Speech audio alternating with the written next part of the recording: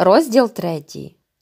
Уже сонце потроху почало визбирувати росу, коли я доїхав до Якимовської загорожі. Вона була обнесена веселим, свіжо обструганим воринням. За ним спадисто йшла під сонце висока трава. Тут червоніли хрещики дикої гвоздики, красувався перестріч гайовий, хвалилася білими віночками ромашка і все з кимсь переморгувалась, тендітна вієста метлиця. А над травою височили безладно розкидані черешні, яблуні, груші і напатлані кислиці. Я обернувся. Біля самого вориня з козубом у руці стояла чорнява худенька дівчинка років восьми. Очі в неї карі з краплинами роси, рум'янці темні, а губи відстовбурчились рожевим, потрісканим вузликом і чогось радіють собі. То чому і мені не посміхнутись дівчині? Я це залюбки й роблю, прижмуривши очі, в які натрусилося сонце. А я знаю, як тебе звати, довірливо каже дівчина, і двома пальцями перебирає скляне з краплинами сонця на мистечко. Не може такого бути, от і може таке бути, показує чорнява свої рідкуваті зуби. Звідки ж ти дізналась? А зимою, пам'ятаєш, пирснула вона. Що зимою? Пам'ятаєш, як спускався на ночовках з горба? Тепер ми починаємо сміятися обоє, хоча мені не дуже приємно згадувати, чим закінчилося те спускання, але цього вже дівчина не знає. Я тоді і подумала, сміливий ти. А чого ж? Не знаю, що сказати, хоча і приємно стає від похвали. Знайшлася таки хоч одна людина, яка не огодила мене за те спускання. Хочеш суниць? Простягає до мене повну козубеньку, посередині скріплену прутиком. Хто б не хотів поласувати ягодами, але ж не личить хлопцеві брати їх у дівчинки, і я байдужа кажу ні, не хочу. Бери, я ще назбираю, тут їх багато. Тоді я збиваю в козуба вершечок і висипаю ягоди в рот. Правда, смачні? Смачні. Нарешті пускаю самоспасом у ліс коняку. А як тебе звати? Любою. А що ти робиш тут? Пасіку доглядаю сама, сама самісінька, посмутніли, посиверіли уста дівчини, а бровенятка стали такими, наче хтось їх почав нанизувати зсередини. А де ж твої батьки? Мати дома пораються, а тато пішли на закладини хати. Напевне, пізно прийдуть за мною. Вона провела мене за вориння, ще і рукою махнула, коли я вискочив на коняку. Проїхавши трохи, я оглянувся.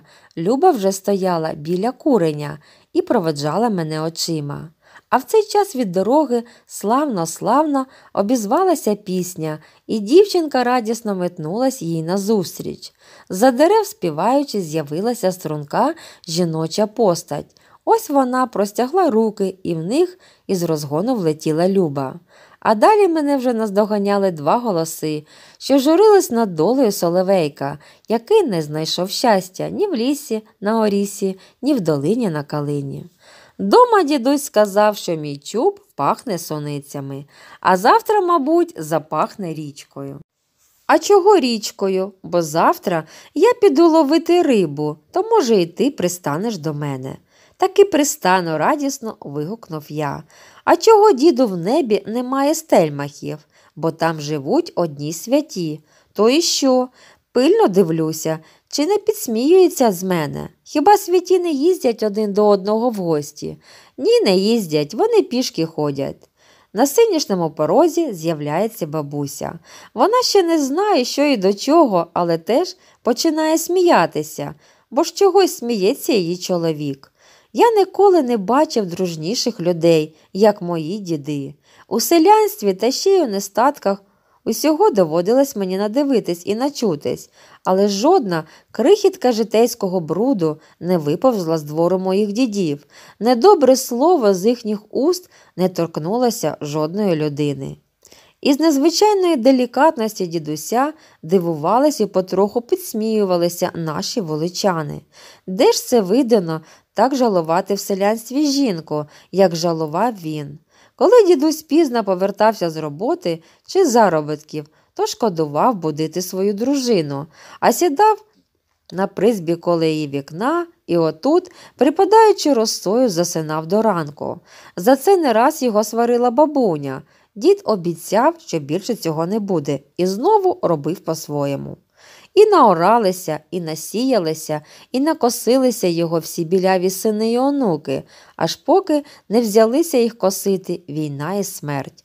Косили вони, не жалуючи, і залишились тепер з усього нашого великого роду тільки двоє чоловіків.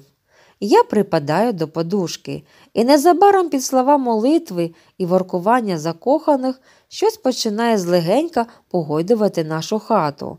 То певна дрімота підійшла до неї і робить своє ділечко. Ось вона трохи розгорнула темінь, і наді мною зашелестіла росою пісня черешня. З вечірнього куреня вийшла усміхнена люба, а побіля нори, прислухаючись до лісу, насторожився борсук. А далі в мій сон залітають лебеді, їх стільки, скільки може бути лише в сні. Вони підхоплюють мене на крила і летять своїм глибединним шляхом на широку долину, де вже із саком стоїть мій дідусь.